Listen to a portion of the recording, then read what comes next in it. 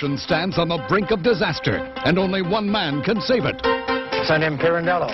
Nick Pirandello, CIA. He's tough, he's cool, and he's the best man they've got. You're not going to let him loose. He's uncontrollable. He's a wild man. His methods are totally unpredictable. I don't care. He'll get the job done. But this time, he can't do it alone. His name's Bob Wilson. He's a lookalike. The computer pulled him. I want you to get him to Washington by Friday for the 8 o'clock rendezvous.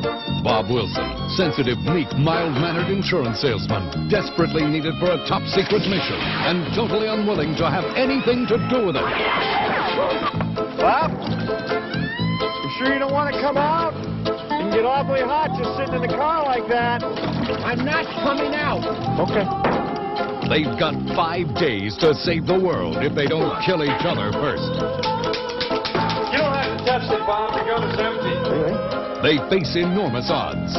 Stay close and do exactly what I do. Bang! Relentless Russian agents. What is this? Lunch.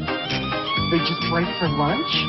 Yeah, they got a bit of candy in there, Bob. You know, they have no incentives, no motivation. Deceptive enemies. Who are those clowns? Holy shit! Clown attack! Clown attack? Yeah, they've gone bad. Bad clowns? And ruthless women. I don't need slaves! Okay. You're one of those feminists, aren't you? Silence! Saturday Night Live's James Belushi, Emmy Award winner John Ritter. This is a job for real men. Bob, why are you crying?